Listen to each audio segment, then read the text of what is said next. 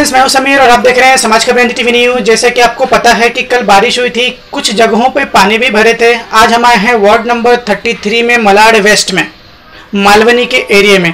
यहाँ पे San Matthew school है, यहाँ की जो प्रिंसिपल है लार्जी वर्गीस मैडम, इनसे हम बातचीत करेंगे।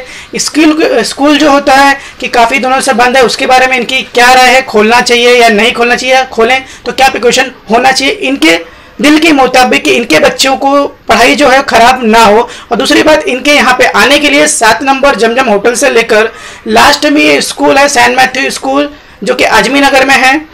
यहाँ पे काफ़ी तकलीफ़ है, रोड काफ़ी खराब है जगह जगह पानी भरा हुआ और काफ़ी गंदगी है, लोग नहीं आ सकते। इससे कोरोना बढ़ सकता है, ऐसा मैडम का कहना है। और सरकार भी यही कहती है कि साफ़ सफ़ाई रखना, हाथ धोना ज़्यादा ज़रूरी है, अगर कोरोना से आपको बचना है तो। तो नमस्कार मैडम, हमारे चैनल में आपका स्वागत है। हेलो गुड इवनिंग मैडम हम जानना चाहेंगे आपसे कि आपकी स्कूल इतना अंदर है सात नंबर से आना पड़ता है। और आपने देखा होगा कल बारिश हुई थी। तो आपके यहाँ आने के लिए हमको भी काफ़ी तकलीफ़ हुई कि पूरा रोड पे पानी भरा हुआ है। तो ये बरसात में कैसा रहता होगा? बहुत प्रॉब्लम है। बहुत सारा इंटरव्यू में ये जो रिपीट रिपीट करते रहते हैं तो लॉट ऑफ़ प्रॉब्लम ये बोल नहीं सकते पैथेटिक जो life of this people of this area is very pathetic और सो थोड़ा सा रेन बारिश था मतलब हल्का से बारिश था उसमें भी इतना पा, ज़्यादा पानी भर गया और पूरा गटर और ओवरफ्लोइंग हो गया रोड पूरा गंदगी है उसके अंदर मैं देखा तो पूरे बच्चे लोग चप्पल से पहन जाते तो चप्पल भी डूब जाते हैं उसके अंदर जो कचरे डब्बे के कचरे के अंदर और आगे चलने को रास्ता नहीं है जो बाइक वाला है जो ट्रैफ़िक बहुत होता है उसके अंदर वेरी पैथेटिक लाइफ और जैसे कि कोरोना का समय है स्कूल सारे बंद है तो उसमें आपका क्या कहना है कि स्कूल कैसे चलाना चाहिए?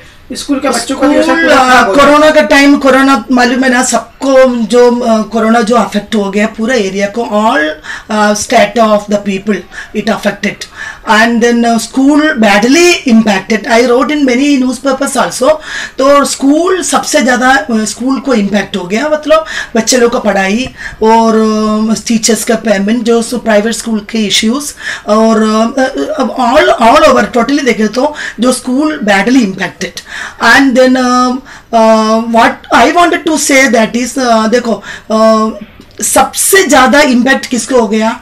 जो स्लम एरिया के जो बच्चे लोग को ये बैडली अफेक्ट हो गया। कैसे बोलेगा तो देखो अभी जो एजुकेशन है ना दो दो डिविजन हो गया तो डिवाइड हो गया कैसा?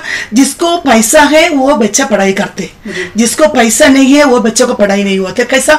अभी मैं एक्सपीरियंस किया अपना स्लम एरिया के बच्चे लोग हैं पूरे ज़्यादा करके। उनको खाली ओनली एक ही मोबाइल रहते कर फैमिली में। उनके मम्मी पापा जो मोबाइल लेके चले जाते तो उनके घर के पढ़ाई चले जाते हैं। तो वो बच्चे कोई भी पढ़ाई नहीं करते। तो इसके लिए गवर्नमेंट क्या करना चाहिए? अभी मेरे स्कूल में 2000 बच्चे हैं। उसमें 225 बच्चों को ही मोबाइल है। रिमेनिंग पूरे बच्चे लोग पढ़ाई नहीं करते वो लोग। ऐसे तो हम क्या करते कुछ वर्कशीट वगैरह दे के थोड़ा सा कनेक्ट किया वो बच्चे लोग को। तो नहीं है तो क्या करेंगे? बच्चे लोग कुछ भी पढ़ाई नहीं। गवर्नमेंट क्या करना चाहिए? ये बच्चों को मोबाइल का फैसिलिटी देना चाहिए। अगर ऑनलाइन पढ़ाई है तो। और इनको जो री रीफिल करने के लिए, जो इंटरनेट फैसिलिटी के लिए कुछ जो रीफिल करने के लिए two hundred three hundred rupees monthly वो भी इनके अकाउंट में देना चाहिए। तभी इक्वालिटी पढ़ाई होगा। अभी क्या हो गया? जिसको पढ़ाई, जिसको पैसा है, वो बच्चे लोगों को मोबाइल है। उनको इंटरनेट का फैसिलिटी है। जिसको नहीं है, बच्चों को मोबाइल नहीं है। उनकी इंटरनेट का फैसिलिटी भी नहीं है।